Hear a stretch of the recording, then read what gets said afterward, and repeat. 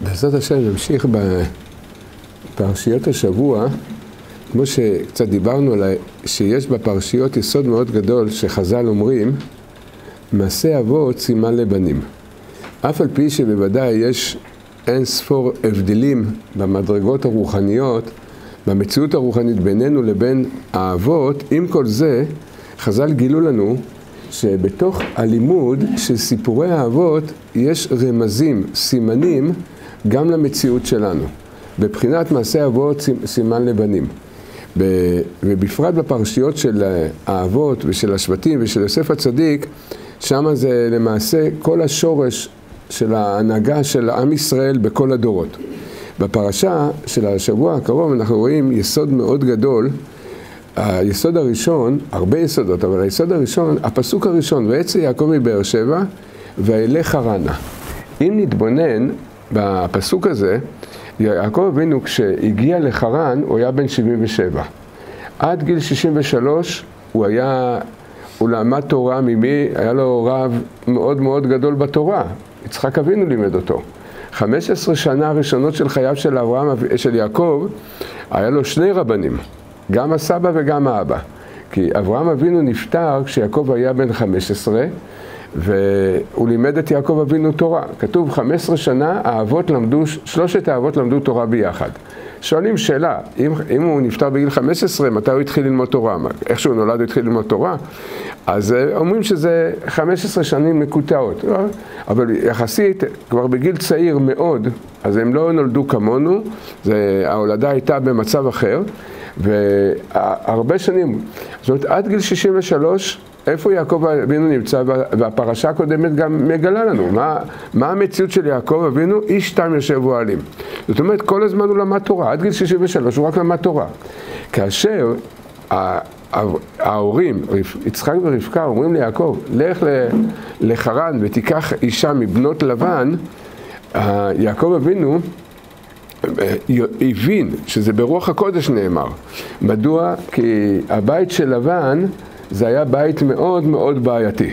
זה, היום, אם היו יודעים שיש משפחה שמתקרבת בטומאה לאחד חלקי מיליון מהבית של לבן, אף אדם, אף אדם עם יראת שמיים לא הולך לקחת משם איזה בת לנישואים. אם זה לא ברוח הקודש, זה לא זה. זה מרכז הכישוף, הטומאה, עבודה זרה, כל התאוות זה, זה בבית של לבן. הם היו, לבן היה אה, אה, גדול מאוד בענייני הטומאה. אבל ברוח הקודש הם ידעו שדווקא האימהות שצריכות להוליד את עם ישראל, שמה, דווקא, שמה הם נול, דווקא שם נולדו האימהות הקדושות. כשיעקב אבינו שומע את זה, הוא היה בן 63 אמרנו, מה הוא עושה, יעקב אבינו? רש"י מביא, זה מדרש חז"ל ידוע. הלך 14 שנה ללמוד בישיבה של שם ועבר. לכאורה, רק בגיל 77 יעקב אבינו הולך לחרן. הפסוק הזה, ויצא יעקב בבאר שבע ויהיה לחרנה, יעקב אבינו מגיע לחרן הוא בן 77. זאת אומרת, אם נתבונן, מהרגע שהוא נולד עד הגיל הזה, איפה יעקב אבינו כל החיים שלו? כל החיים שלו רק בתורה. רק בעולמה של תורה, בשיא הקדושה, בשיא הטהרה שיכולה להיות בעולם, הבחיר שבאבות, מיתתו שלמה, זה רגל, רגל שלישית של המרכבה, לאיפה הוא צריך ללכת למצוא את הבת זוג שלו? מהמקום הכי קדוש בעולם למקום הכי טמא בעולם. זה הפסוק ויצא יעקב מבאר שבע. צריך להבין, היה מישהו, אמר לי שהיה לו איזה קושייה על ההנהגה של הקדוש ברוך הוא. למה לאה, רחל, בילה וזלפה צריכות להיוולד בבית של טומאה כל כך גדולה? הוא טוב, אם תגיד ש... יש איזו סיבה רוחנית שלא ייוולדו במאה שערים. טוב, אבל לפחות אצל משפחה מסורתית, שעושים קידוש בשבת, שידעו בכלל מה זה.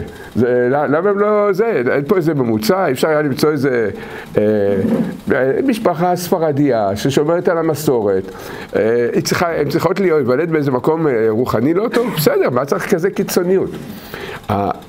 זה באמת שאלה גדולה, הנקודה הזאת, אבל בכל אופן זה מה שאנחנו רואים קורה.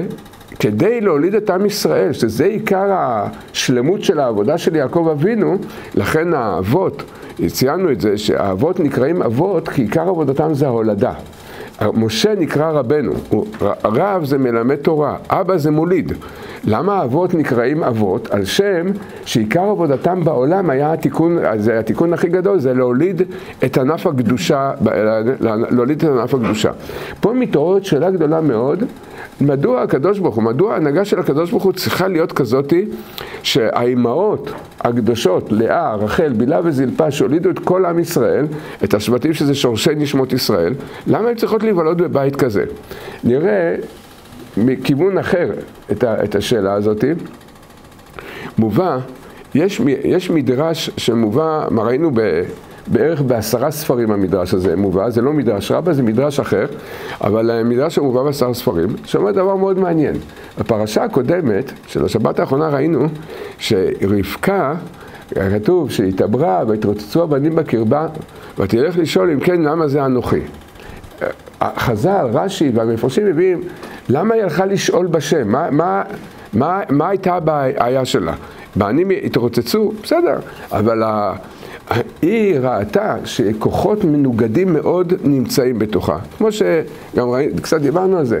עשו רוצה לצאת לבתי בתי עבודה זרה, יעקב אבינו רוצה לצאת לבתי מדרשות. היא לא הבינה מה, מה קורה, מה המהות הזאתי ש, שבעצם קורית, קורית בתוכה. אנחנו יודעים, יעקב ועשו, שני בנים תאומים, שני לאומים, ממי חצהו. אומר המדרש שרבקה הייתה צריכה להיות מעוברת בעיבור אחר. איזה עיבור? היא הייתה צריכה להיות מעוברת מיעקב ודוד. העיבור האמיתי של רבקה היה צריך להיות מיעקב ודוד. ואם היא הייתה באמת מעוברת מיעקב ודוד, מה היה קורה? העולם היה מגיע לתיקון שלו. מדוע? כי אומרים המקובלים לפי מה שאנחנו יודעים, שהאבות זה שלוש רגליים של המרכבה, של כיסא הכבוד, של המרכבה, זה בחינה רוחנית של תיקון העולם. מה חסר לתיקון העולם? הרגל הרביעית. מי זה הרגל הרביעית של המרכבה? דוד המלך. אילו דוד המלך היה נולד בעיבור, כמו שהיה צריך להיות, בעיבור של רבקה, יעקב ודוד היו נולדים, דוד היה נולד בדורם של האבות, ואז המציאות הרוחנית הייתה מאפשרת בעצם לדוד להגיע לשלמות שלו. דוד והאבות ביחד, אם הם היו באותו דור, אז הם, כבר התיקון של העולם אה, היה, היה מתקיים. אומר המדרש, אז באמת למה לא? אז באמת למה לא, למה לא התעברה מדוד? למה דוד לא מעובר? אומר המדרש שהסמ"ם היה לו תביעה. על העיבור הזה של אה, דוד, והתביעה שלו הייתה בסוד חטא הדם הראשון. בגלל חטא הדם הראשון היה לו טענה, כי הטענה הזאת התקבלה, דוד התהפך, אה, במקום דוד בא עשיו. וזה דחה ב-11 דורות את ההולדה של דוד. דוד מיעקב אבינו זה 11 דורות. מה הסיבה לתחייה? מה? מה הסיבה לתחייה? הקטרוג של הסמ"ם שקטרג על חטא הדם הראשון. דרך אגב, מעשה אבות סימן לבנים, ראשי לא תיבות, ראשי תיבות זה סמ"ם א' ל'. יפה. כן, אבל, אבל... לא, אני לא אמרתי לך לא להפריע, אתה אמרת. לי זה... הייתי בשיעור כשאמרתי את זה. טענה חזקה. אוקיי, אז אה, למעשה, כן, הסמ"ם קטרג על הדבר הזה. הקטרוג הזה, זה בבחינת נורא עלילה על בני אדם. כי הרבה פעמים הקדוש ברוך הוא מת, מתערב בתוך ההנהגה של העולם, ב... כי הוא צריך בעצם לסתום פה למקטרג. ולכן הסדרי ההנהגה משתנים, והדברים לא קורים כפי שהם היו צריכים לקרות בשביל התיקון, אבל זה לא שבאמת זה כן לתיקון, רק זה לא, זה נדחה. זה נדחה עד שיבוא משיח צדקנו ויהיה התיקון השלם. יש, זה, זה נקרא ההנהגה הזאתי, שמסיבות נעלמות מהבנתנו, כביכול הקדוש ברוך הוא הוא זה שמונע את תיקון, את תיקון העולם. אז דבר אחד אנחנו רואים את זה בעצם ההולדה, שבמקום שהייתה מעוברת מיעקב ודוד, הייתה מעוברת מיעקב ועשו. פה רוצים לציין נקודה מעניינת. יש ספר שנקרא שלמי תודה, של אה, חכם טוניסאי לפני 300 אה, שנה בערך, היה אה, מאוד גדול. בכלל, חכמי טוניס הם היו גדולים מאוד מאוד בתורה. חכמי טוניס בכל, ה, בכל הפרדס של התורה. והוא כותב שמה, בספר של תודה הוא כותב שבאמת רבקה הייתה מעוברת מיעקב, דוד ועשו הוא, הוא, הוא גרם שדוד יהיה נפל בתוך העיבור. זה, זה דעה של השלמי תודה. הרב חיררי בספר ישמחה מביא את השלמי תודה הזה. אבל לפי המדרש, מה שראינו, לפי המדרש היא, היא לא הייתה מעוברת מדוד, היא הייתה צריכה להיות מעוברת מדוד. אז מבחינת נורא עלילה על בני אדם, כי העולם לא יכול לבוא לתיקון בלי דוד. דוד, הוא, יש לו חלק אה, למעשה להשלים. דוד התחיל את הפעולה הזאת, עשה כל מה שביכולתו, ועכשיו זה נדחה עד, אה, עד משיח בן דוד, שישלים את זה. זה, זה נקודה אחת. גם פה אנחנו רואים, גם בעניין של מאורעות יעקב, מצד קטרוג של, של, של החטא הדם הראשון, הדם הראשון, חטא הדם הראשון, למעשה כל הנשמות היו קשורות בחטא הדם הראשון, כולנו היינו כלולים באדם הראשון, ולכל אחד גם יש חלק בחטא הדם הראשון לפי שורש נשמתו. זאת אומרת שלא כולם חטאו באותה מידה. זה, את היסוד הזה אומר רבנו אריה הקדוש בשאר הגלגולים, והוא מסביר שלפי כל אחד חטא בבחינה שלו, ולפי החטא שהוא חטא, ככה הירידה שלו, עוד לפני שהוא בא לעולם. הייתה כבר ירידה רוחנית, יש ירידה רוחנית גם לפני שבאנו לעולם, וזה גורם אחר כך את כל המציאות וכל הניסיונות שלנו בעולם הזה. ומכיוון שצריך לתקן את חטא הדם הראשון, ואין לנו הבנה והשגה איך מתקנים את חטא הדם הראשון, לכן יש בחינה שנקראת נורא עלילה על בני אדם. יש דברים בהנהגה של הקדוש ברוך הוא שאנחנו לא, לא, לא יכולים להבין אותה. אחד הדברים זה, ויצא יעקב בבאר שבע ואלה חרנה, מה שאמרנו בהתחלה. כי יש פה בעצם שאלה עצומה על הדבר הזה. לאה ורחל, בילה וזלפה, זה הנשים הכי קדושות בעולם. גם שרה ורבקה, האמהות הקדושות, מי, מי קדוש וטהור כמו, כמו האמהות הקדושות, שהן היו קודש הקודשים, דבוקות בקדוש ברוך הוא בשלמות שאי אפשר, שאין לנו שום השגה בה. איפה הם, כל האמהות הקדושות, איפה הן צריכות להיוולד? באיזה בית, באיזה מקום, באיזה מציאות? שרה אימנו נולדה בבית, בבית של עובדי עבודה זרה. אח של אברהם, הרן, היה אבא של שרה. למעשה שרה היא בת אחותו של, אה, של אברהם, בת אחיו של אה, אברהם אבינו. ואברהם הוציא את שרה משם. אחר כך ראינו, רבקה, איפה רבקה נולדה? רבקה, אבא שלה בתואל, אח שלה לבן. מה שכתוב במדרשי חז"ל ובזוהר, מי זה בתואל, מי זה לבן, זה לא היו מצדיקי הדורות. ואפשר להגיד, היו מה... השם יעזור, השם ירחם, עד כמה טומאה הייתה שמה. אז ראינו את זה אצל רבקה, ועכשיו אנחנו רואים את זה אצל לאה ורחל. פה השאלה, מדוע האימהות הקדושות, הצדיקות הכי גדולות שבמשך הדורות צריכות להיוולד, הכל נמשך בעצם מסוד חטא הדם הראשון. מסוד חטא הדם הראשון קורה כל המאורעות האלה.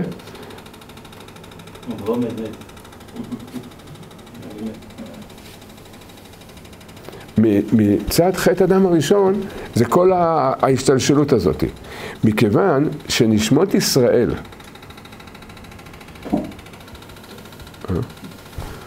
מכיוון שנשמות ישראל, הם ירדו למקומות כאלה, התפקידי, התפקיד של הצדיקים הגדולים בעם ישראל, מה ש... זה לגמרי. כן, אפשר לראות את זה. יש שם, שם, יש את השני. הוא מכבה, הוא מכבה, הוא מכבה. הוא מכבה.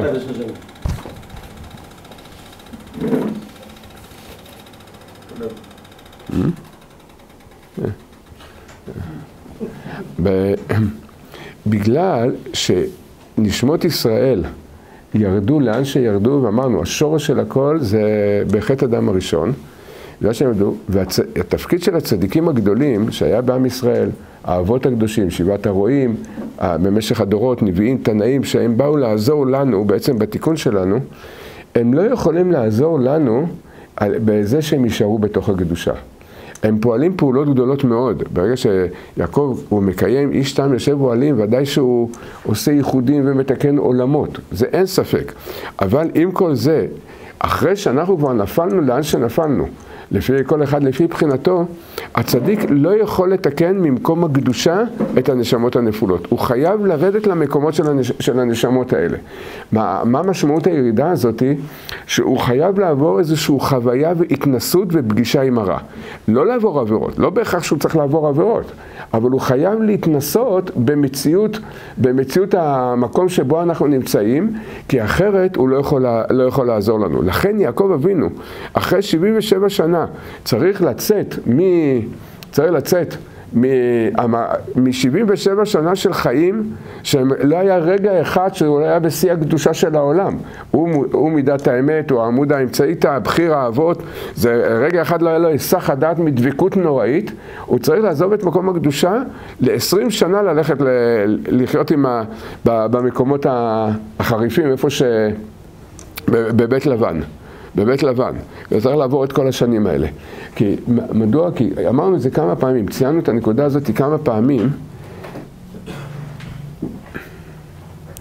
עד, שה, עד שהאדם לא חווה מקום מסוים, אפילו, אפילו צדיק גדול לא יכול להבין את המקום הזה. צריך לדעת, עד שהאדם לא יורד למקום מסוים, הוא לא יכול להבין את זה.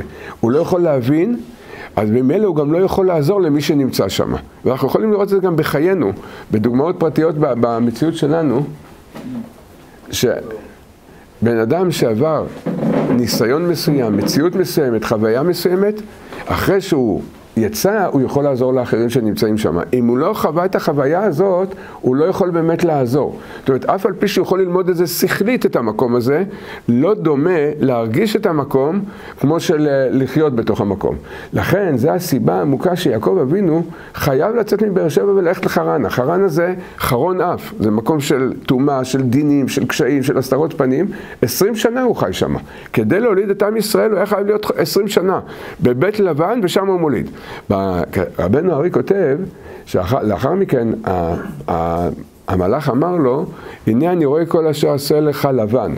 אומר שבסוד הדברים הלבן זה הלובן העליון, זה מקום רוחני מאוד מאוד גבוה, שזה נקרא הכתר דאק. הוא אומר, משם אני רואה שאתה תיקנת את כל עולם האצילות. ככה רבנו ארי כותב בספר שנקרא עץ חיים. בפירוש הדבר, דווקא בזמן הירידה, דווקא בזמן ההתרחקות מבאר שבע, מהמקום של הקדושה, שם הוא מתקן את כל העולמות. זאת אומרת, הצדיק חייב לרדת למקום הזה. אומרים המפרשים שמפה יסוד ראשון שאנחנו לומדים על זה,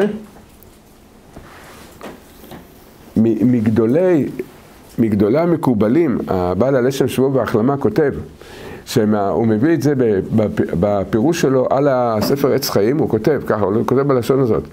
מכאן אנחנו רואים שאין לך עבודה יותר גדולה, יותר גבוהה, יותר מתקנת בכל העולמות, מאשר אדם משמיים מסובבים שהוא יהיה במקום לא טוב, ומשם הוא יתחבר עם הקדוש ברוך הוא. זאת אומרת, ככל שאדם עובר איזושהי התנסות, אנחנו לא בוחרים, אנחנו לא הולכים למקומות החושך, מוליכים אותנו למקומות החושך. כבר, כבר, כבר מובילים אותנו משם, ומשם אנחנו מתחברים עם הקדוש ברוך הוא, אין לך תיקון יותר גדול מהדבר הזה. ככה הוא כותב בלשון שלו, זה לשון מאוד אה, חריפה וחזקה, זה הדבר הכי גבוה בעולם. הוא באמת, יהודי אף פעם לא רוצה ללכת למקום החושך. אז, אה, אז איך הוא ילך לשם? על זה החילונים טועים בנקודה הזאת. הם אומרים שיש כפייה דתית, אבל הם לא מבינים מה זה כפייה דתית. כפייה דתית אמיתית זה שכופים עלינו ללכת למקומות האלה. זה הכפייה הדתית האמיתית. מדוע? כי הניצוצות הקדושה, הנשמות, האוצר נמצא שם. אם הוא נמצא שם... למצוא את המקום.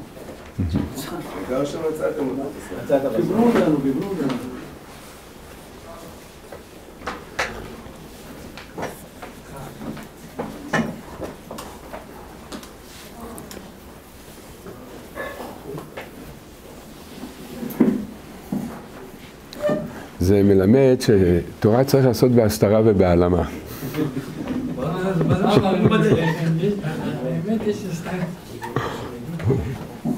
להביא עוד כיסאות. להביא עוד כיסאות במקום. שמעת איזה? אחרי כיסאות.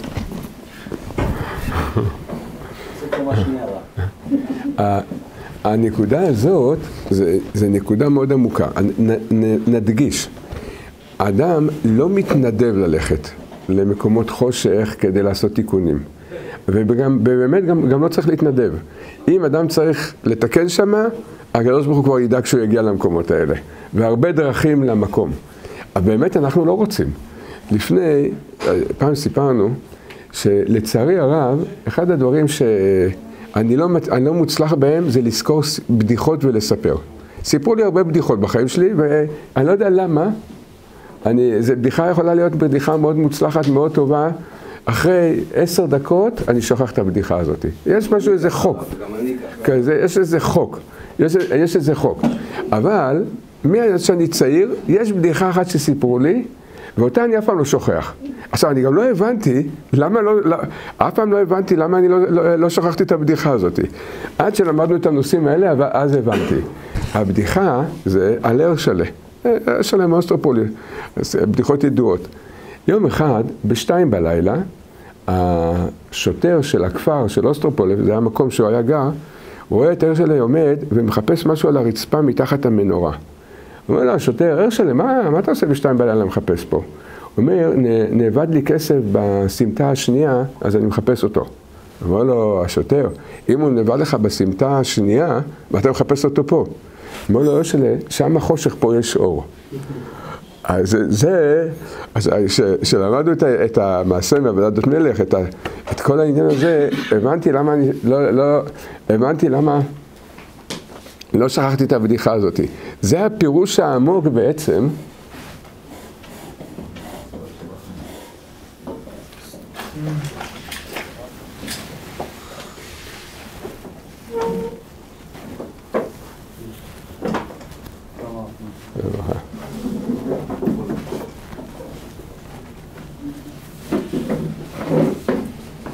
זה הפירוש, זה הפירוש העמוק לכל ה... ויצא יעקב מבאר שבע ואלה חרנה. למה הוא צריך ללכת חרנה? חרנה זה מקום החושך. מה יהודי רוצה? יהודי לא רוצה אף פעם לעזוב את מקום, מקור האור. כל ההשתקקות של הלב שלנו זה, זה לאור רוחני, זה המקום האמיתי שלנו, זה, משם באנו, לכן אנחנו מתגעגעים למקום הזה. לכן יהודי תמיד רוצה אור רוחני. אבל מה לעשות אם הכסף שנאבד הוא בסמטה חשוכה, הוא לא מתחת לפנס? הרשלה רצה להתגבר על זה. זה אנחנו בעצמנו שלא רוצים ללכת לסמטאות החשוכות, אנחנו לא רוצים ללכת למקומות חשוכים, אבל מה לעשות שהכסף שם? הכסף, מה זה כסף? בעולם הזה, אומר רבי נתן בליקוטי הלכות, מה שבאנו לעולם הזה, שזה הכל ריח... התרחקות כדי להגביר ולגלות רצונות וכיסופים חדשים לקדוש ברוך הוא. כל המהות של העולם זה, ותכלית הריחוק זה לגלות חיבור חדש עם הקדוש ברוך הוא. איפה אנחנו מכירים את זה? איפה אנחנו מגלים את זה? במקום הריחוק. יש שתי חברים טובים, בעל ואישה. כל עוד הם ביחד, ברוך השם, החברים אוהבים אחד את השני, הבעל והאישה אוהבים אחד את השני. אבל אין, כשחיים הרבה זמן ביחד, אין את ההרגשה של תוקף האהבה. מה הכוונה? אין, לא מרגישים את זה בעוצמות. מדוע? זה המציאות של העולם. חיים ביחד, אוהבים, לא שלא אוהבים, אוהבים, יש שלום בית, יש שלום בין החברים, הכל בסדר, אבל לא מרגישים. מתי בעצם היא תתגבר הרגשת האהבה בלב? כשהם יצטרכו להיפרד. כשברגע שהם יצטרכו להיפרד, עכשיו הבעל היה צריך לנסוע לשנה לחוץ לארץ, אין, אין, אה, זה, אין פרנסה, שם יש פרנסה, אין ברירה. אונס, חייבים לנסוע לחוץ לארץ. מה קורה ברגע הפרידה? ברגע הפרידה מתגברת הרגשת האהבה ביניהם. זה כל התכלית של הירידה של הנשמות לעולם הזה. להתרחק למה, למה להתרחק? כדי להגביר ולגלות עולמות ומדרגות חדשות של קשר וחיבור עם הקדוש ברוך הוא. הריחוק בעצם הוא כולו קירוב, זה מה שרבנו אומר. כל הירידה, תכלית הירידה עלייה. כל התכלית של הירידה לעולם הזה זה כדי לעלות למעלה אחר כך הרבה יותר, בגלל, בגלל הריחוק הזה. אז, אז זה, אבל אנחנו מפחדים מזה, אנחנו לא רוצים, כי, כי אדם שאוהב מקום מסוים, אוהב בן אדם מסוים, לא רוצה להתרחק, הוא רוצה להישאר בקרבתו. אז זה, זה באמת, אם uh, יש לכם קשר עם אנשי תקשורת שמדברים על כפייה דתית, צריך להסביר להם, זה נכון שיש כפייה דתית, כפייה דתית זה הריחוק. זה שמרחיקים אותנו מהקדושה, זה, זה באמת הכפייה הדתית. וזה בעצם תיקון העולם. לכן, מצד חטא הדם הראשון והמעט הבנה שאמרנו, האימהות הן צריכות להיוולד במקומות כל כך רחוקים, ויעקב אבינו כדי לתקן את העולם, כדי להעלות את כל הנשמות ולגלות את כל הנשמות, הוא חייב ללכת לחרן, כדי לגלות שמה בעצם את, ה, את הבחינה הזאת. כי הניצ... המד... המטבע, ובסיפור של יעקב אבינו, בעניין שלנו של הפרשה, המטבע שהרשלה איבד בסמטה חשוכה, זה בעצם הנשמות שנאבדו במקומות חשוכים. יעקב אבינו לא יכול לגלות אותם, לתקן אותם ולהעלות אותם, אלא על ידי שהוא ילך לחרן. אז התיקון של יעקב אבינו הוא בעצם שלמות, הולדת הנשמות, שלמות התיקון של הנשמות בזמן האבות, לאחר מכן כמובן כל הצדיקים כל פעם ממשיכים את הפעולה, אבל האבות פעלו בשורש, פעלו בשורש הדברים. יעקב אבינו ירד לחרן כדי להעלות את כל הנשמות שנאבדו. זה המטבע, זה הכסף של הרשלה שנאבד בסמטה חשוכה. אז השוטר אומר להרשלה, הרשלה, אם אתה רוצה למצוא את הכסף שלך, אתה חייב אה, זה, אתה חייב אה, ללכת לסמטה חשוכה, זה לא פה, זה לא יעזור. נכון, יש פה אור, שם אין אור, אבל זה שמה. הרשלה אומר לשוטר, טוב, מה אני אעשה? הוא אומר, עצה פשוטה, קח פנס. מה זה פנס? פנס זה התורה שהוא למד כל השנים. זה האור שהוא קיבל כדי שבמקומות האלה הוא יוכל להאיר באור התורה שהוא, שהוא קיבל. כיצד הייתה עבודתו של יעקב אבינו? כמו שאמרנו, יעקב אבינו בעצם תפקידו להוציא את כל הנשמות מבין הקליפות. קצת נסביר את זה, ב, ב, ב, לא בעומקם של הדברים. והצאן, לא? מה? הצאן שהוא... רגע, שנייה. העבודה של יעקב אבינו זה להוציא את כל הנשמות מבין הקליפות. פה קצת צריך להסביר את הנושא הזה, מה הכוונה להוציא את הנשמות מבין הקליפות, כי זה מסודות, מסודות התורה, הנקודה הזאת. אז זה לא כל כך מובן מה הכוונה. מסביר רבנו הארי הקדוש, וכמובן כל מפרשי רבנו הארי והצדיקים במשך הדורות הרחיבו את זה, ולמעשה בחטא הדם הראשון הנשמות ירדו. הם ירדו למקומות לא טובים, לא בעולם הזה. יש גם בעולמות הרוחניים, לפני שהאדם בא לעולם, הנשמה בא לעולם, יש מקומות לא טובים. הנשמות שנפלו למקומות הלא טובים לא יכולים לצאת משם בכוח עצמם. הן כמו שבויות בתוך המקומות האלה, ואז מה תיקונם של הנשמות? והקדוש ברוך הוא הרי מכין את כל הבריאה רק לתיקון נשמות ישראל, כל סדר הבריאה זה רק בשביל התיקון שלנו.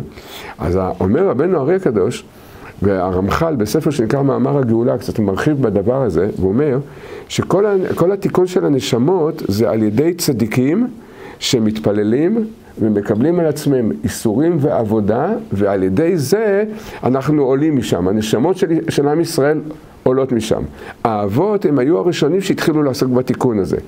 כל היציאה של יעקב אבינו, ואילך יעקב, ואצל יעקב מבאר שבע ואילך חרנה, הכוונה, כל כוונתו וכל ההשגחה הייתה ללכת לאותן סמטאות חשוכות שהכיסופים, הנשמות נמצאות שם. הוא התחיל לתקן אותם. תיקונם היה בכמה שלבים. זה היה כמה שלבים בתיקון של זה, והשלבים הם על פי סוד ירידת הנשמות. זאת אומרת, לא כל הנשמות ירדו באותה בחינה. וזה כבר הסודות, סודות הבריאה, כמו שאמרנו, זה כתוב בשאר הגלגולים באריכות, רבנו הארי מאוד מעריך בזה. והתיקון של הנשמות, איך הוא, בעצם, מהם השלבים? לכלול את כל הנשמות. השלב הראשון זה קודם כל עצם הנישואים של יעקב אבינו עם לאה ורחל ואחר כך עם בילה וזלפה. עצם שהוא התחתן איתם, מי, בעצם מי הראשונים או הראשונות שהוא מוציא מהקליפות? את האימהות הקדושות בעצמם, הם הבנות של לבן. ברגע שהוא התחתן איתם, הוא, אותם הוא פדה. הוא עשה להם אה, פדיון שבויים, הוציא אותם מהשבי שבה הם היו בבית לבן. לאחר מכן, בעצם ההולדה של השבטים, זה השלב השני של פדיון הנשמות, וגם אותם הוא כבר יכל לעסוק בזה שהוא הביא אותם לעולם. כשיהודי בא לעולם זה תיקון מאוד מאוד גדול. כשיהודי בא לעולם כיהודי, זה, זה פועל פעולה מאוד גדולה, עצם העובדה הזאתי. ברגע שהוא הוליד את הנשמות, זה כבר היה שלב, שלב ב' של התיקון. לאחר מכן, הוא היה צריך לעסוק בתיקון כל נשמות ישראל. כמו שהזכרתם, השלב הש, השלישי של הפדיון היה בסוד הצאן. בסוד העקודים נקודים ברודים, שכתוב במדרש, כמה צאן היה ליעקב אבינו. אומר המדרש, 60 ריבו. 600 אלף. 600 אלף כמניין יוצאי מצרים. אומר המדרש, דבר מעניין. אומר, ועל כל על כל, אה, על כל צאן שהיה ליעקב אבינו, היה לו כנגד זה עדרים של כלבים, שתי כלבים על כל, על כל כבש או עז, הצאן היה כבשים ועיזים. על כל כבש ועז היה לו שתי כלבים. עכשיו גם כן צריך להבין מה זה השתי כלבים האלה. זה הקליפה ששורה על הנשמות.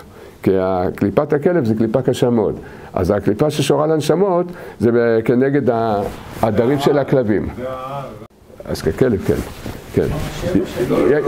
לא, אני אגיד לך, באמת, אתם מראים הערות נכונות ויש הרבה להעריך בזה, אבל לא, לא, קצת נתקדם עם הנקודה הזאת.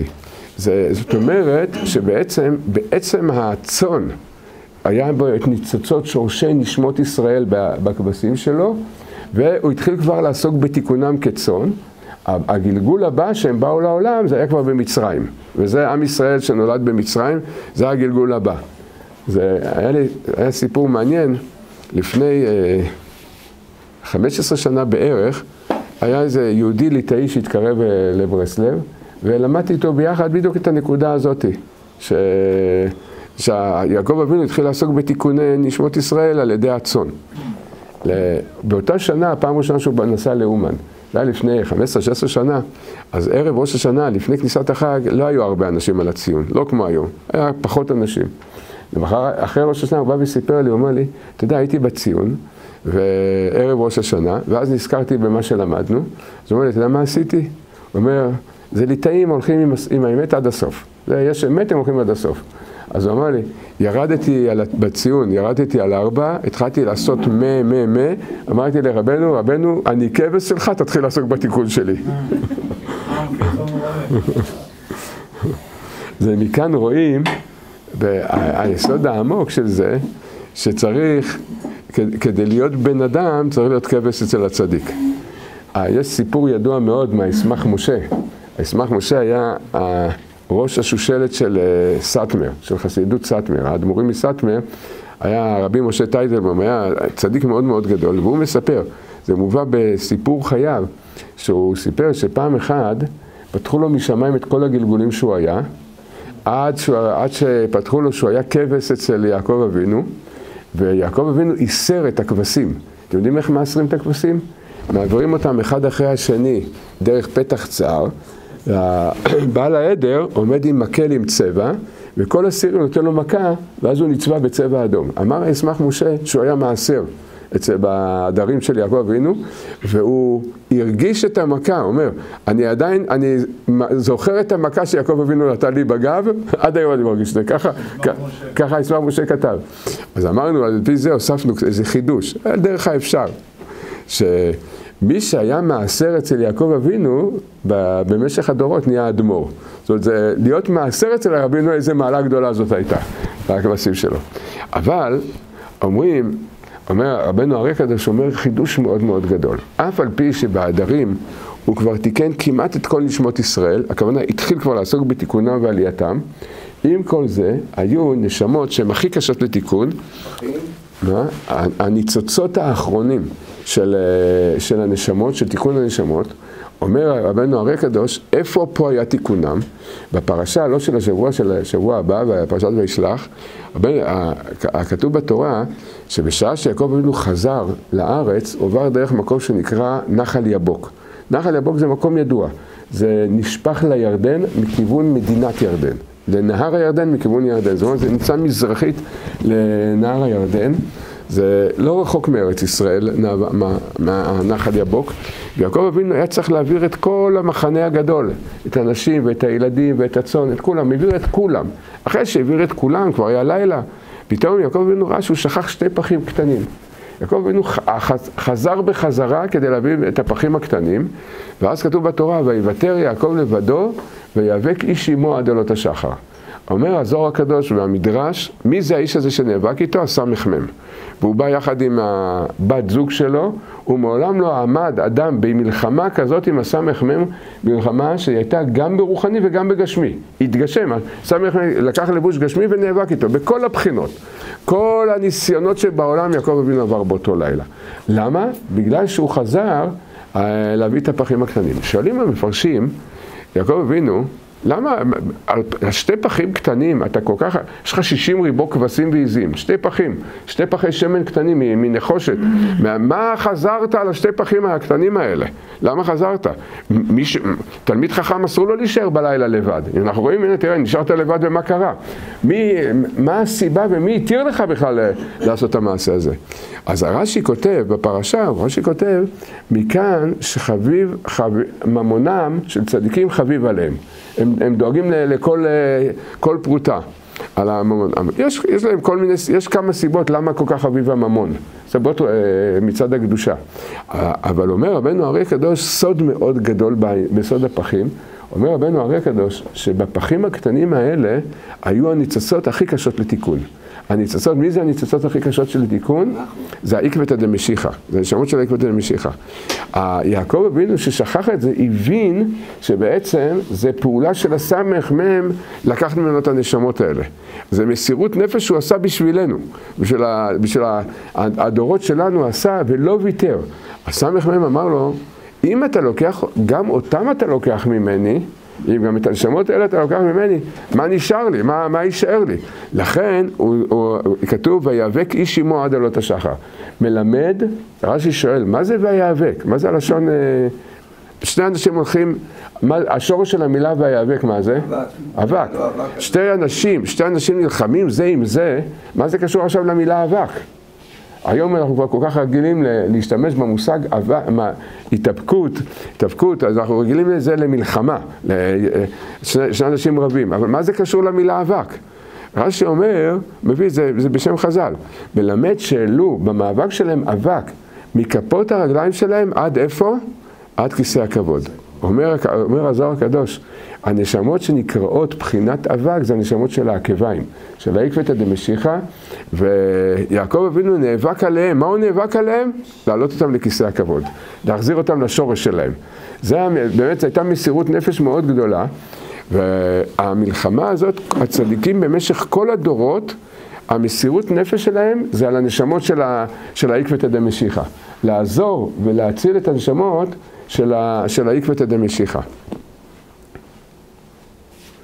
כתוב, יש כמה ספרים שמביאים את היסוד הזה, שהפחים האלה, שיעקב אבינו נלחם עליהם ולקח אותם, אלה הפחים שעברו במשך הדורות בעם ישראל, הגיעו עד למשה רבנו, בפחים האלה משה רבנו קידש את המשכן, לאחר מכן עברו לזמן של שלמה המלך, ובזמן שלמה המלך כהן, הכהן הגדול שהיה בזמן שלמה המלך, חתם אותם בחותמת של כהן גדול והחביא את זה מתחת למזבח בבית המקדש. מי גילה את הפחים האלה?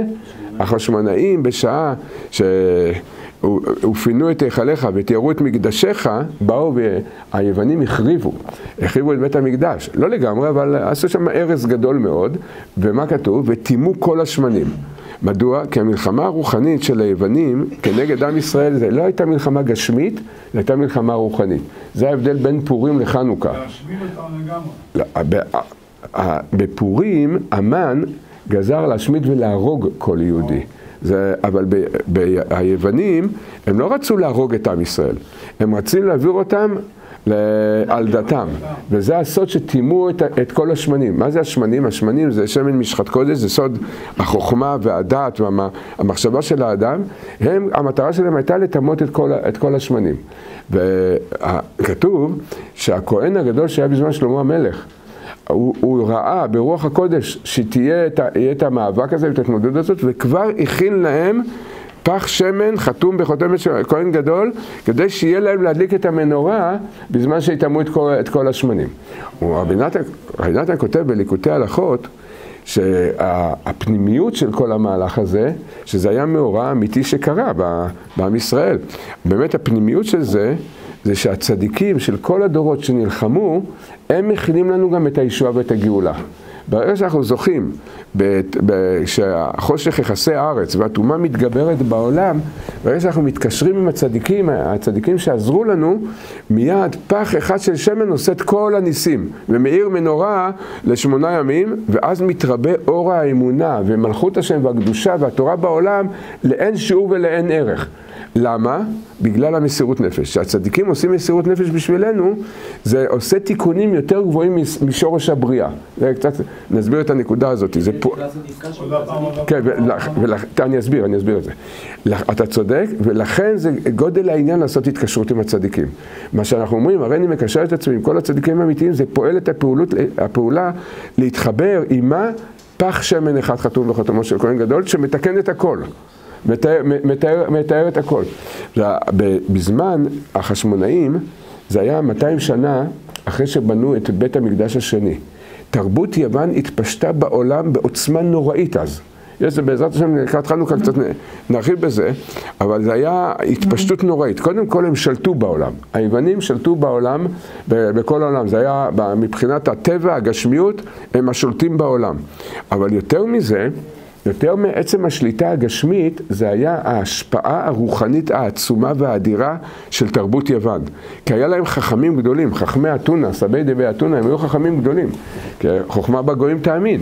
הם היו פילוסופים גדולים, בעלי מדענים גדולים, וכל העולם התפעל מהחוכמה היוונית. זה צריך לדעת, זה, זה סחף את העולם, החוכמה היוונית, והבעיה הגדולה שזה נכנס בתוך עם ישראל בעוצמות מאוד גדולות. בתוך עם ישראל זה נכנס בעוצמות מאוד גדולות החוכמה היוונית, עד שהחשמונאים הבינו שאם הם לא יעשו מסירות נפש מאוד מאוד גדולה. זאת אומרת, הם מוכנים למות על קידוש השם ולא רואים שום דבר, לא יוכלו לעז... לפעול פעולה רוחנית בשביל עם ישראל.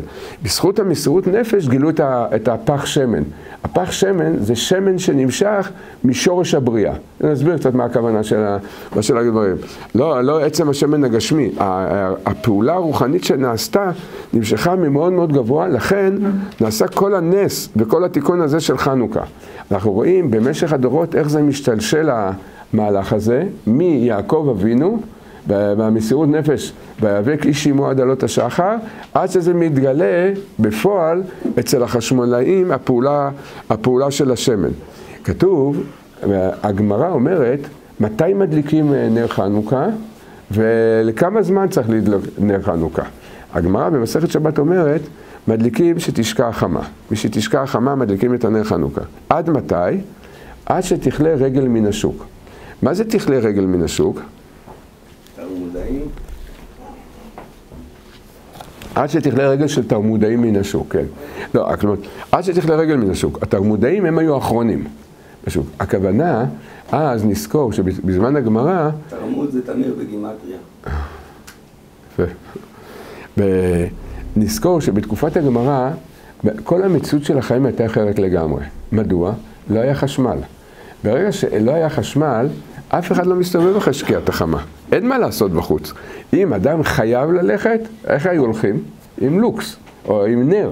לא, אין אור. ברגע שאין אור, לא יוצאים. אחרי שקיעת החמה, לא יוצאים מן הבית. לכן, מיד שהיו רואים, העולם היה מתנהג ככה, שהיו רואים שהשמש שוקעת, מה היו עושים? מיד סוגרים את הבסטות, את החנויות, את השווקים, אין, אין מה לעשות בחוץ. ו- והולכים הביתה. אומרת הגמרא שלכן מדליקים את הנר חנוכה, שזה פרסום, פרסום הנס, עד האחרון שחוזר. זה כמה זמן זה היה אחרי שקיעת החמה? חצי שעה. חצי שעה, למשל היום, אה, שקיעת החמה יש שאומרים ששקיעת החמה זה אה, צאת הכוכבים, ניקח את זה לפי שזה צאת הכוכבים. בחנוכה בדרך כלל החמה שוקעת ב-20 ל-5, ב-5 זה צאת הכוכבים, עד 5 וחצי צריך להדליק נר חנוכה. לפי מה שכתוב בגמרא, זה עד אז צריך להדליק את הנר של חנוכה. כי מדוע? אחרי 5 וחצי כבר, למה שתדליק את הנר חנוכה? אין אף אחד בחוץ. אין, אין למי ל... אין אה, למי ל... סליחה? אין למי לפרסם את הנס, כן. באמת, הלכתית, על פי ההלכה, שואלים האם אנחנו צריכים להדליק היום יותר. יש פוסקים שאומרים שיותר, אבל רוב הפוסקים אומרים שגם היום, עד חמש וחצי. ההלכה נשארה באותה, באותה בחינה שלה. אומר רבנו הארי הקדוש, כל מה שאמרנו זה על פי הפשט. מה סודם של הדברים? עד שתכלה רגל מן השוק, עד שלא תהיה רגל בשוק, זה הפשט, נכון?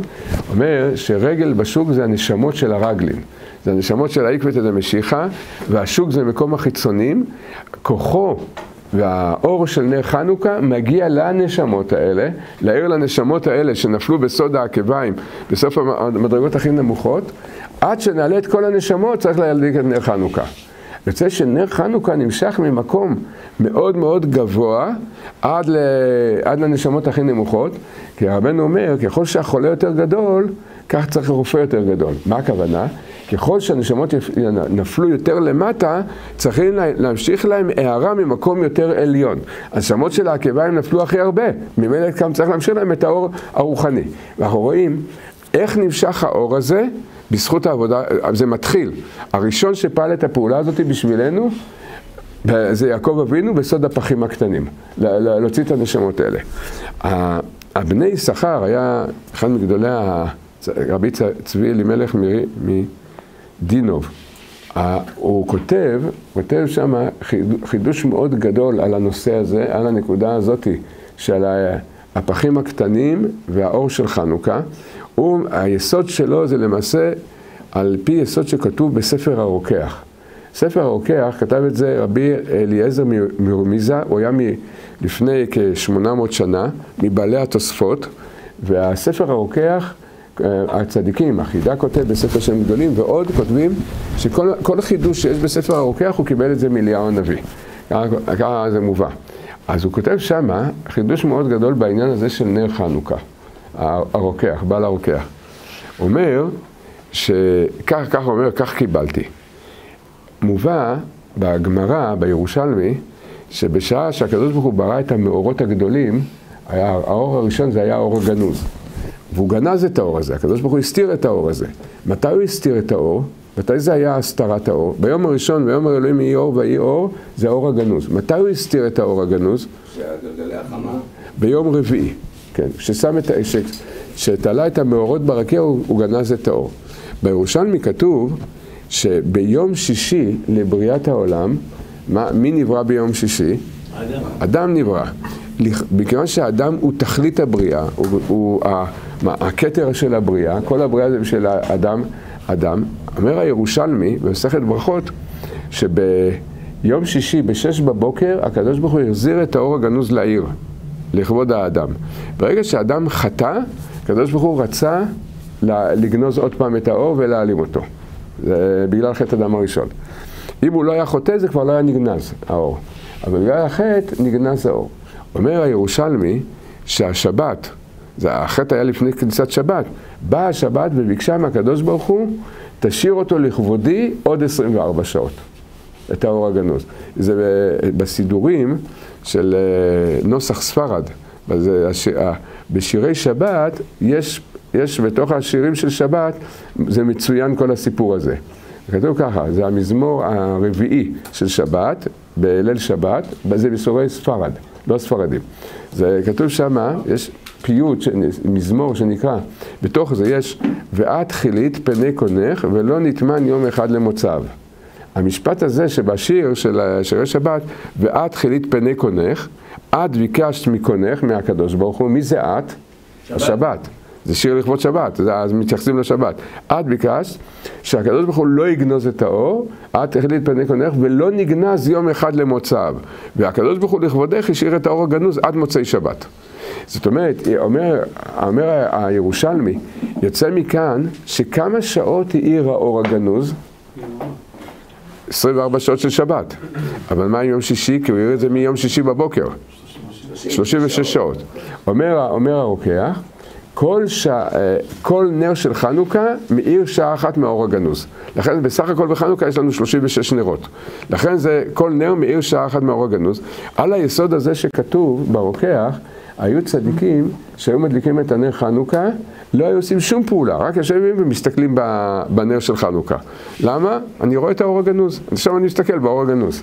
ובאמת יש עניין גדול להסתכל בזה, באור, באור הזה, להתבונן בו. מה? השעה של... נידון, נידון שלם הנקודה הזאת, בוא נגיד שזה נידון שלם מה שאתה אומר, בפשט הדברים זה מחמש עד חמש וחצי, זה אז זה מאיר. אז הרב אמר שזה שעה. כן, כן, לא, כן, כן, כאילו, בהלכה כתוב חצי שעה, אבל זה שעה. לא, כן, כן, הכוונה, שעה, הכוונה זה שעה רוחנית, לא שעה של 60 דקות. כל נר חנוכה קיבל את הערתו משעה אחת מה-36 שעות. זה לא חייב להיות. יש כאלה שאומרים כן שעה, אבל uh, על פי הקבלה זה, זה חצי שעה. זה, זה, זה לא הכוונה שעה 60 דקות. הכוונה, כל נר חנוכה ממשיך הערה משעה אחת מהזמן של האור, של האור הגנוז. עכשיו, אם נתבונן בזה, יש פה חידוש מאוד גדול בדבר הזה. מה החידוש? החידוש הוא שבאמת כל הנהגת העולם, שאדם שומר תורה ומצוות, צדיק, צדיקים גדולים, הם ממשיכים אורות רוחניים לעולם, נכון? כל העבודה שלנו, אה, כזה כתוב בספרים הקדושים, שכל העבודה שלנו זה בעצם לחבר את העולמות. העולם הוא גשמי וחשוך, ולמעלה אור ו- ורוחניות. על ידי התורה והמצוות אנחנו מחברים את העולמות. בפירוש דבר אנחנו ממשיכים אור רוחני למציאות שלנו. לולי, תורה, לולי התורה והמצוות העולם לא יכל להתקיים מהחושך שלו. אנחנו מקיימים את העולם על ידי התורה והמצוות. מחברים את העולמות. אבל כל אור שאדם יכול לקיים על ידי תורה ומצוות, כל אור שאדם יכול לקיים, זה מבחינת האור הגלוי, לא מבחינת האור הגנוז, כי האור נגנז. הוא נגנז הכוונה, הוא לא מאיר. אז יש לנו חידוש מאוד גדול, שבעצם הפעם היחידה שאפשר במצווה להמשיך ממקום יותר גבוה מכל, ה... מכל הבחינות זה דווקא בחנוכה. כי חנוכה נמשך מצד האור הגנוז, מה ששאר המצוות לא נמשכות משם.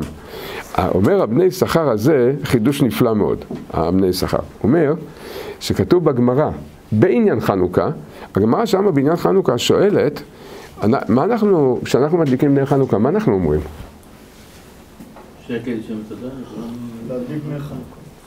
שקידשנו בתודה וציוונו להדליק נר חנוכה. הגמרא שואלת, איפה, איפה, איפה כתוב שהוא קידש אותנו במצוותיו וציווה אותנו להדליק נר חנוכה? אתה תחפש בכל התורה, נמצא כזה דבר?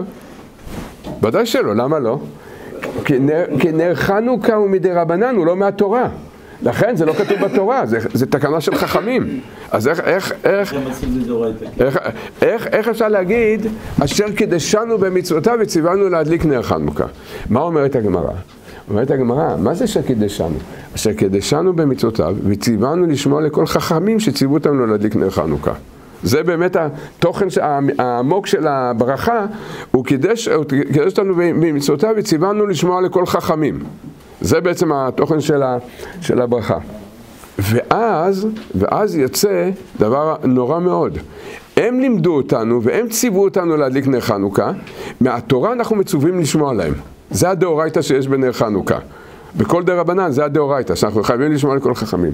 אבל אומר הבני יששכר, איזה, איזה חידוש נורא ועוד. אומר הבני יששכר, הם לימדו אותנו וציוו אותנו על המצווה הזאת של נר חנוכה. וכשאנחנו שומעים להם ומדליקים נר חנוכה, מאיפה אנחנו ממשיכים את האור של חנוכה? לא מהאור של התורה. מאיפה? מלמעלה מן התורה, מסוד האור הגנוז. זאת אומרת, שהתורה, כל המצוות של התורה זה מצד האור הגלוי. המצווה מדי רבנן של להדליק נר חנוכה נמשכת משורש התורה.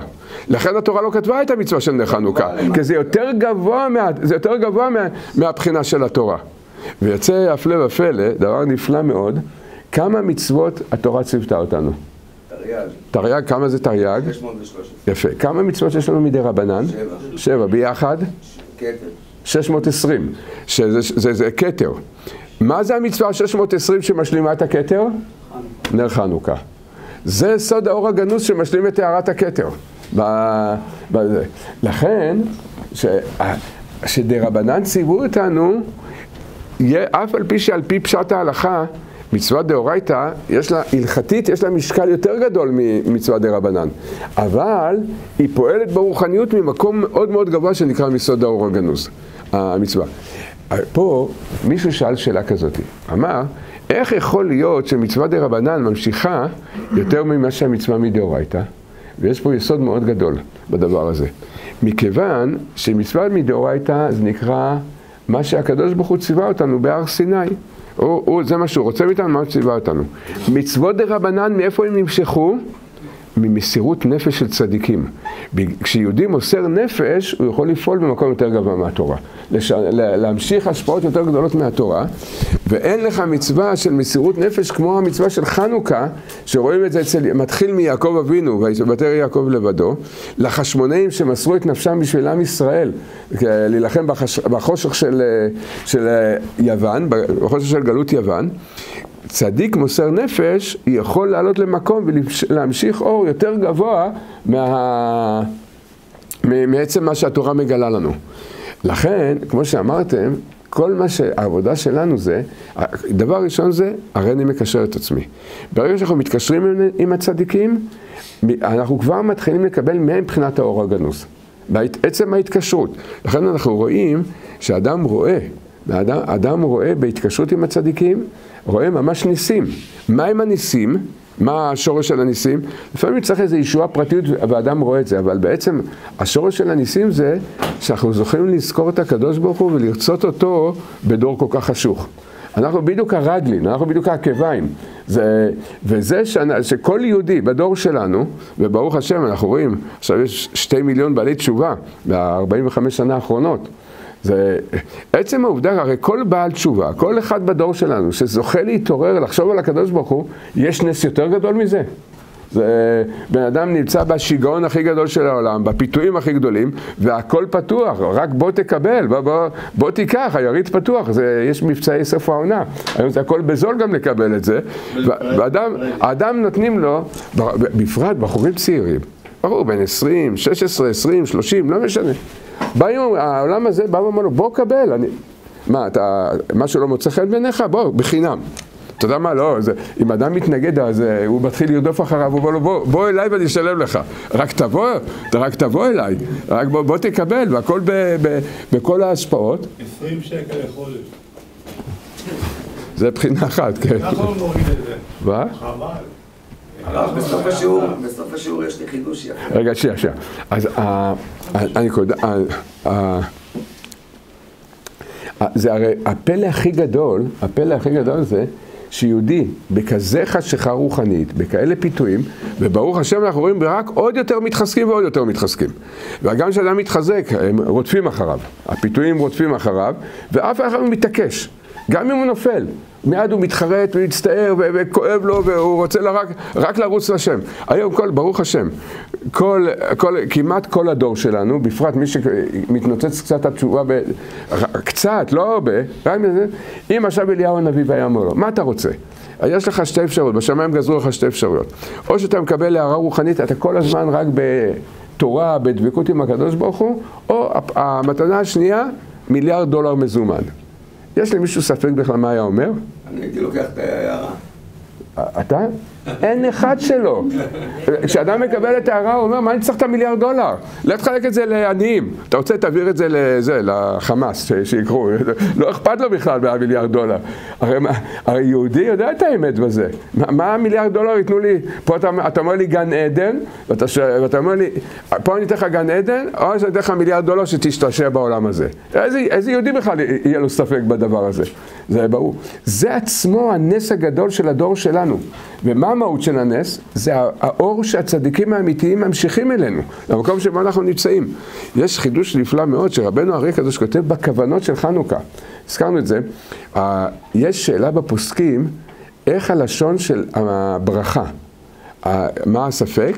או, או לאשר כדשנו בתונה לציון להדליק נר של חנוכה, זה דעה אחת. הדעה השנייה זה להדליק נר חנוכה בלי המילה של. או להדליק נר של חנוכה, או להדליק נר חנוכה. רבנו ארי אומר, מה, מה הנוסח המדויק על פי הסוד? לה, לא, להדליק נר חנוכה. להדליק נר חנוכה בלי של. למה? אומר רבנו ארי הקדוש, כי יש כוונה על פי הסוד לכוון בשעה שמדליקים. מה זה הכוונה? נחל. נחל. להדליק נר חנוכה. נחמן. לא, נחל. ראשי תיבות להדליק. נחל נובע. רגע, רגע. להדליק נר חנוכה, הכו... הכוונה זה נחל. ואומר, יש שם קדוש, ככה רבנו ארי כותב בשאר הכוונות, ויש שם קדוש, שם נחל, והמקובלים שמברכים את המזה, צריכים לכוון בשם קדוש נחל. אומר הרשש, הרשש, מפרש, המפרש הכי גדול של הכוונות, אומר הרשש, מה זה השם הקדוש הזה נחל? יש לו הקדמה לכוונות, בחנוכה אומר, מה זה הנחל הזה? נחל נובע מקור חוכמה. כי כל הכוונה של נר חנוכה זה להמשיך את אור הצדיק האמת. זה כל האור של חנוכה, זה, מה, מה זה נקרא אור הצדיק האמת? זה האור האלוקי. הנשמה האלוקית שמתעוררת כתוצאה מעבודתם של הצדיקים האמיתיים. לכן זה נקרא אור הצדיק האמת. זה, באמת זה אור אלוקי. זה, זה הקדוש ברוך הוא בעצמו מתגלה בתוך הנשמות. למה זה נקרא על שם הצדיק, האור של צדיק האמת? כי בזכות המסירות נפש של הצדיקים, שם זכינו ל... לאיתו- לנקודה הזאת. אז זה הכל מתחיל למעשה מ"ויצא יעקב מבאר שבע וילך חרנה". כל המסירות נפש, יעקב אבינו עוזב את הקדושה, הולך בשליחות אה, האבא והאימא, יצחק ורבקה, לבית לבן כדי אה, לגלות את הנשים. ראיתי שאלה ששואלים, שיעקב אמר לו, לך לחרן ויקח מבנות לבן לאישה, יעקב אבינו היה בן 63. מתי הוא הלך לחרן? 77. שבע. 14 שנה הוא הלך לישיבה של שבע. 77 או 77? 77. 14 שנה הוא היה בישיבה של שם ועבר. שואלים שאלה, אבא שלך ציווה אותך ללכת לבית לבן, להתחתן עם בנות לבן.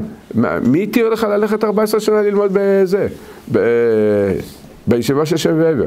הייתי חידוש נפלא מאוד, שבאמת ללבן לא היו בכלל בנות. בכלל לא היו לו בנות. כש- כשיצחק אמר ליעקב אבינו, לך לבית לבן, תיקח אחד מבנותיו, אז התעברה, בזכות, בגלל הדיבור הזה של יצחק, אשתו של אה, לבן התעברה בכלל בבנות. עד אז לא היו לו בכלל, גם בנים לא היו לו, לא בנים ולא בנות לא היו לו, אבל לא היה לו בנות. עכשיו יעקב אבינו ברוח הקודש ידע שברגע שיצחק אמר, לך לבית לבן תביא בנותיו, הוא, יעקב אבינו ידע שעכשיו, עכשיו עוד לא, הם עוד לא נולדו בכלל. יעקב אבינו אמר, מה אני אלך עכשיו? הם עוד לא נולדו. בשביל מה שאני אלך לבית לבן? בג- בגיל אה, חתונה, אני אלך לשם. לכן הוא הלך ל- לישיבה של שם ועבר. אחרת זה קושייה גדולה, איך, מי התיר לו לא, לא ללכת לחרן? הוא חייב לשמוע בקול אבא ואמא. אבל יעקב אבינו ידע שהם עוד לא נולדו. אחרי שנה, מה, הם נולדו, מה, מה, מה אני אלך עכשיו לחרן? בואו נחכה שהם יגדלו. מה אני אלך שם, בין כה וכה, הם תינוקות, מה אני יכול, אני לא יכול להתחתן איתם. ובאמת כתוב במדרש, כתוב במדרש, שיעקב התחתן עם לאה ורחל, בנות כמה הם היו? 14, 12. לא? לפי זה בוא נעשה חשבון, זה יוצא מדויק עם המדרש. אה, עוד שבע שנים שהוא עבד? לא, הם הם תאומות, הם נולדו ביחד, לאה ורחל. אז 21 עד 9. 21. הן תאומות. כן, בסדר, היא, יצאה קודם, נכון, כמו יעקב ועשיו. היא הייתה הבכורה, נכון, אבל, אבל, הם, אבל הם תאומות. עכשיו, 14... אומר את זה הרב מי? על אה, בנות אה, לבן שהם עוד לא נולדו. אה, ת- תכף- תכף, מיד אני, כמה ספרים מביאים את זה, אבל אני אגיד לך. לא, רגע, מה? כתוב שהיו מראיינים מהציבור, על ה- היו אומרים על יעקב ועשיו ועל רחל ולאה, ש- שהקטנה לקטן והבכירה לבכיר. כן, כן, לא, זה לא, לא, אני אסביר לך, אני, אני אגיד לך. יש אה, מדרש שנקרא סדר עולם של רבי יוסי הגלילי. הוא כותב שם שלאה ורחל היו בנות עשרים? תנא, תנא. רבי, כן, כן, זה מדרש חז"ל, תנא. אה, הוא כותב שמה שלאה ורחל היו בנות 20 פלוס, 20-21, כשיעקב אבינו התחתן איתם. הוא עושה שם חשבון שלם. יוצא לפי זה, מפה מדייקים, אבל ש... הוא רחל 28 יצא. למה? הוא עבד עוד שבע שנים. לא, לא. לא, אה, עוד ש... התחתן איתם, הוא- ואז הוא אחרי שבוע, אחרי שבוע הוא התחתן עם אה, רחל, ועבד אחר כך עוד שבע שנים. אבל הם היו בנות 20-21 שהם התחתנו. אה, מה החשבון? יעקב אבינו היה 14 שנה בבית לשם ועבר. הם תאומות הרב? הם תאומות. הם תאומות. כן, כן, תאומות. לא זהות. מה? מי- אמר שלאה לא הייתה יפה? איך? מי אמר שלאה לא הייתה יפה? לא. היא מצאה יותר חן בעיני יעקב. אה, בסדר, זה, אתה יודע מאיפה זה נמשך שימצא חן בעיניו יותר? מאצילות העולמות, זה נמשך. שלו היה לה... כן, כן, נשאיר, נשאיר את זה.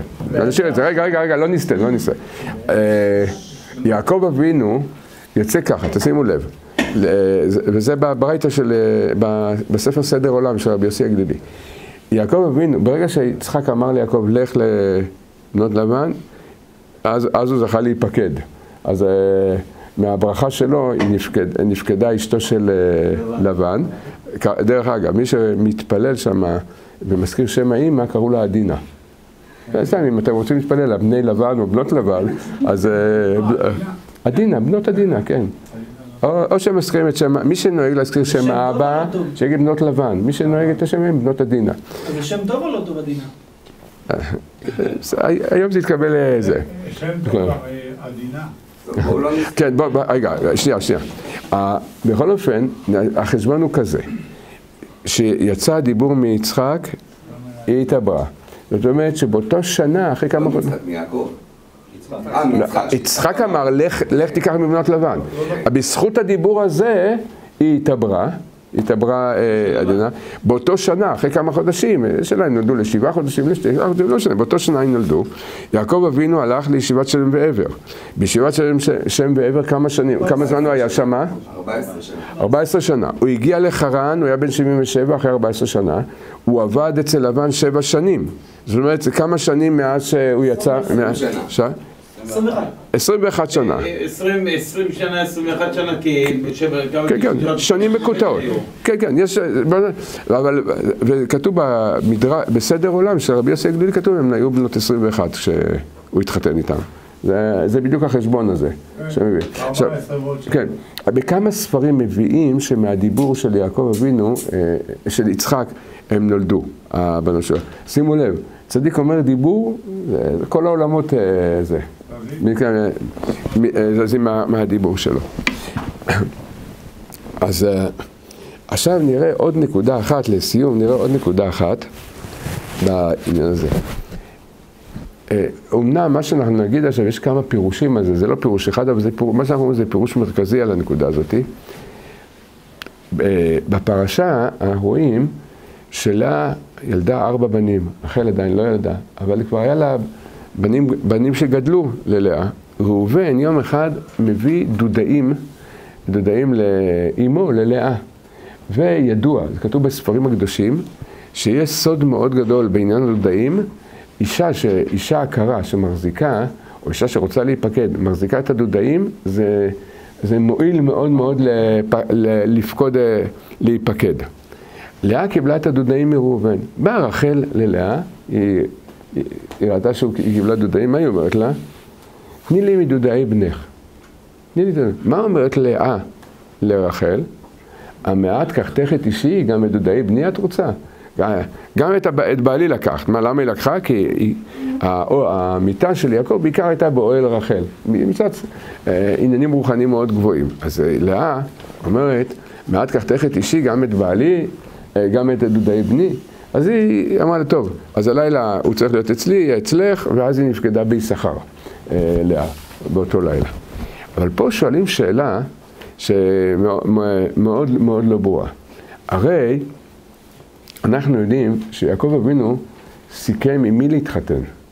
עם מי, עם מי בעצם הוא סיכם להתחתן? עם רחל. כן, עם לבן, אבל את מי הוא ביקש? את רחל.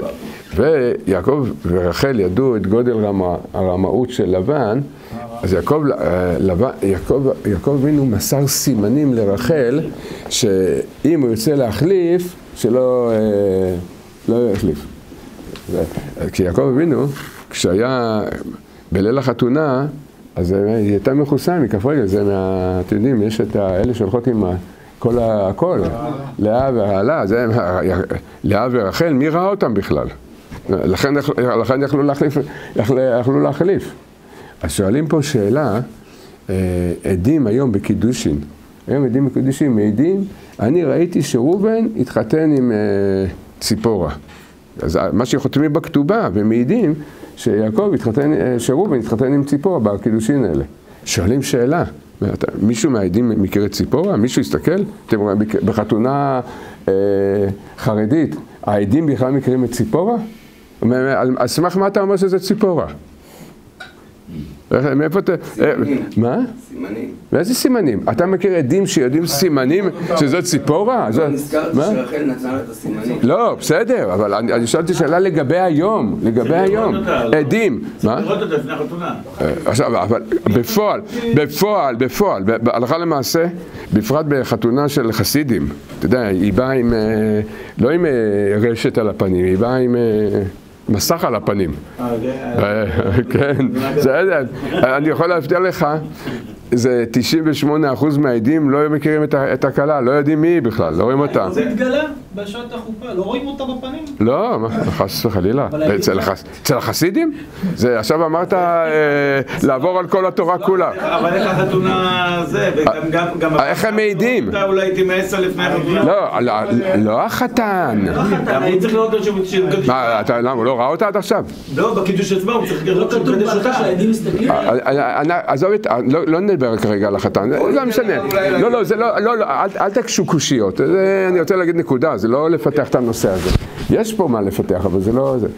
איך העדים מעידים שראובן, והם חותמים על הכתובה, ולמעשה הם מעידים שראובן קידש את ציפורה. הם לא יודעים בכלל שזה ציפורה. נכון. אז ודאי שהם לא יודעים. ברוב החתונות הם לא, הם לא יודעים. אז איך אתה מעיד אה, זה והקידושים תופסים? לכאורה זו קושייה גדולה. אתם יודעים מה התירוץ? אתם יודעים מה התירוץ של זה? יהודי זה לא לבן, הוא לא מחליף את הבת שלו. לא, אם האבא נמצא שם, אז אה, אנחנו בטוחים, הוא לא, לא, לא, הלך- הוא לא הלך עכשיו, יש לו איזה בת מבוגרת בבית שעוד לא התחתנה, הוא רוצה שהיא תתחתן. מה הוא יעשה? יחליף אותה. יהודי זה לא לבן, הוא לא יעשה כזה דבר. צריך לדעת, אנחנו אומרים את זה בחיוך, אבל על זה סומכים שהעדים לא רואים. אם האבא נמצא שם, והאבא אומר, זאתי ציפורה, אפילו שיש לו, אנחנו יודעים שיש לו בת יותר מבוגרת, יהודית, שלא הולך לבן. מותרת? מה? השאלה. זה עדות שהיא מותרת? את- כל הקידושים נעשים על היסוד הזה. כל, הק... כל הקידושים נעשים על היסוד הזה. הוא סבא שלה. כשסומכים על האבא... אה, לא, יש, יש, תראו, יש, אבל אבל- לא, לא, אל תקשו, אל תקשו, לא אה, זה. תראה, לא, זה לא, אה, אני יודע שיש עוד דעות בהלכה, זה, אנחנו לא, זה לא שיעור בהלכה, אנחנו רוצים רק להביא את היסוד הזה, אמרנו את זה לגבי לבן. אצ- אצל הספרדים, אה, יש, יש אה, פוסקים ספרדים שזה סכין החריפה. אין כזה דבר. אם אתה לא רואה ציפורה ואתה לא מכיר את ציפורה, אל תהיה עד פה. יש כזה דבר. אבל רוב העולם סומכים על זה. זה אומר שרוב העולם, אה, העדים לא מכירים באמת את, הכלה. על כל פנים, אצל החסידים ודאי. החסידים אומרים ששמירת עיניים, אני אסמוך על, ה, על האבא שהוא לא לבן, כי שמירת עיניים זה יותר גדול מהכל. זה שיטות, זה גישות, אתה מבין? זה... רק אמרנו רק את היסוד הזה. הקוב לבן עשה את כל העניין להחליף את זה. עכשיו, הרי יעקב מסר סימנים לרחל, הוא אמר לה, אה, בשעה שאנחנו נהיה בליל בליל חופתנו, תגידי לי את הסימנים שלא יחליף לי. הוא גם לא חשב דווקא על לאה שיחליף, הוא אומר, הוא יכול בכלל להביא לי איזה, הוא יכול להביא לי מישהי מזה, מהודו, זה- זה אי אפשר לדעת את- אצל לבן. לבן הרמאי הכי גדול בעולם, אני יכול לדעת מי הוא יביא לשם? אה, אה, זה- לכן הוא נתן את הסימנים. באמת, איך, איך באמת הוא לא ידע שזה, שזאתי רחל? מה? רחל גיטה ללאה. רחל באה וגילתה את כל הסימנים ללאה. למה? כי רחל, אתם יודעים איזה מסירות נפש היא עשתה כשהיא גילתה את הסימנים ללאה? זה לא פשוט. מדוע? כי כשבשעה שהיא מסרה את הסימנים ללאה, קודם כל היה בינה ובין יעקב אבינו הסכם. היא הולכת נגד ההסכם. וחוץ מזה, מי אמר בכלל שהיא תתחתן עם יעקב? היא הבינה, כשהיא מסרה את הסימנים, היא הבינה שהיא היא בעצם מפסידה את החתונה עם יעקב. והאימהות היו נביאות וידעו שמהבית הזה הולך לצאת כל הקדושה של העולם, כל, כל עם ישראל. רחל הסכימה לוותר על החתונה עם יעקב, על המעלה הגדולה, וכל זה למה? שלא לימד. שלא יהיה בושה לאחותה. אפשר להבין את, את גודל המסירות נפש הזאת של, של רחל? זה בן, זה בן אדם מוותר על כל העולם הבא שלו, על כל המדרגות הרוחניות, על כל הקדושה, בשביל שחבר שלו לא יתבייש. זה, אי אפשר בכלל לתאר את גודל המעלה הזאת. אחרי כל זה, המעשה הזה, איך לאה אומרת ל, לרחל, בעניין של הדודאים, אה, רחל עשתה לה בשבילך כזאת מסירות נפש, מה היא אומרת לה? המעט קחתך את אישי, גם תקראי דודאי בני? היא לקחה, את, היא לקחה, היא נתנה לך את בעלך. איך את אומרת לה, לקחה? אז פה, פה, מה? רגע, זה, יותר מחוצפה, זה מה שזה לכאורה, אבל לאה לאה זה קודש הקודשים. פה יש נקודה מאוד מאוד עמוקה במה שכתוב פה, זו נקודה מאוד מאוד עמוקה. רחל לא סיפרה ללאה שזה סימנים שיעקב אבינו מסר לה, והם הסכימו ביניהם את החתונה. אתם יודעים, לאה, לאה עיניי לאה רכות, אתם יודעים, הטיפוס של רח... לאה, מי זאתי? זה ברסלבית, כל היום תהילים, התבודדויות, היא, לא, היא בכלל לא מבינה את העולם הזה, לאה. לאה זה אחת מופשטת. כל העניין של לאה, זה היא מופשטת מהעולם הזה, היא בכלל לא יודעת מה, מה, מה זה העולם הזה. עיני לאה רכות, זה כל היום היא בוכה, אבא תציל אותי, תקרב אותי, זה מה שברסלבית כזאת במהות שלה. השש שעות התבודדות זה מלאה. מה שהרב ארוש תיקן שש שעות, זה מ... הוא למד את זה מלאה. כל היום התבודדויות, כל היום תפילות, שבע תיקוני הכללי, כל הזמן זה... כל הזמן זה, זה הבחינה של לאה. לאה לא מבינה בכלל בעולם הזה. רחל זה הפלפל של הבית. היא, רחל היא מבינה את כל העולם הזה, אנחנו רואים, גונבת לה- אחר כך ללבן את התרפים, היא, היא מבינה בעולם הזה, היא יודעת בדיוק זה. לאה, רחל באה ללאה ונתנה לה את הסימנים, לא על דעת זה, היא לא גילתה ללאה שזה הסכם בינה בין יעקב. מה, מה רחל? רחל עשתה הדרכת כלות, היא באה ללאה ואמרה, לאה תדעי, בליל הכלולות את לא מבינה כלום, את כל הזמן בדבקות, אני אסביר לך את העולם הזה, זה עשתה לה הדרכת כלות, היא אמרה לה תדעי, לאה, בליל, בליל החופה צריך לעשות סימנים מסוימים אה, לבעל, זה ככה המנהג, ככה, ככה, עושים, ככה עושים את זה.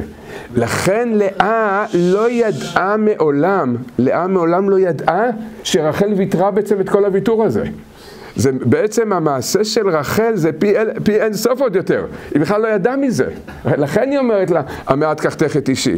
זה, זה, ודאי שלאה הרי זה קודש הקודשים, כזה חוסר הכרת הטוב, היא הייתה ודאי שלא הייתה אומרת לה את זה. הפעולה הזאתי, זה, זה, התיקון המידות, אין דבר יותר גדול, עבודת המידות אין דבר יותר גדול מזה.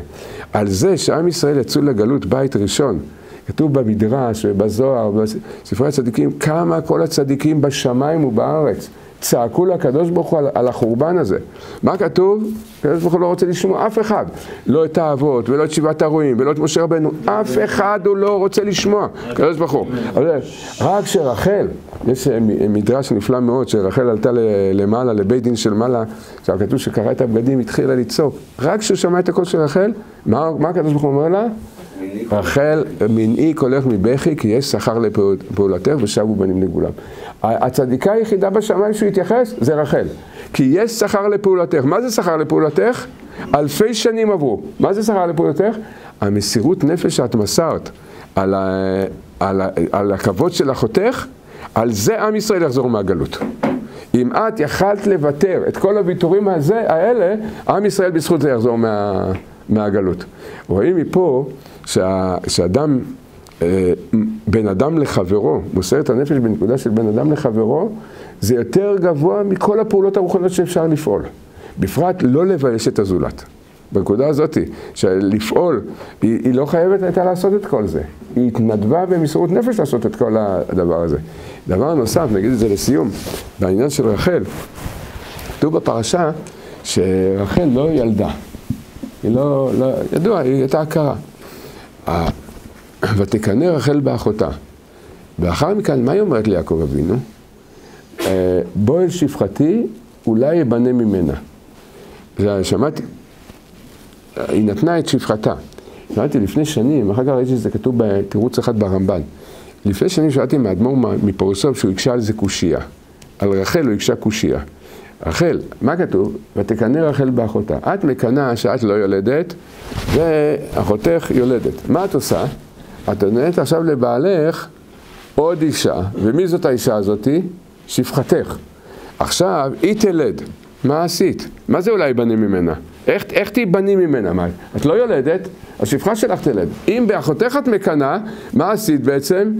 הוספת עוד צרה לכל הקנאה. עכשיו תקנאי גם בשפחתך, שהיא תלד ואת לא תלדי.